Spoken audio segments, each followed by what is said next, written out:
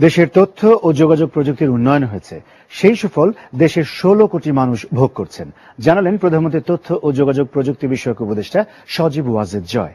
ICT for development award পুরস্কার পাওয়ায় রাজধানীর হোটেল সোনারগাঁওয়ে তথ্য ও প্রযুক্তি বিভাগ আয়োজিত সংবর্ধনায় তিনি কথা বলেন। সজীব ওয়াজেদ বলেন, কারও সহযোগিতা নয়। নিজেদের পরিকল্পনা, দক্ষতা ও অর্থায়নে অল্প সময়ের মধ্যে বাংলাদেশকে ডিজিটালাইজেশন করা হয়েছে।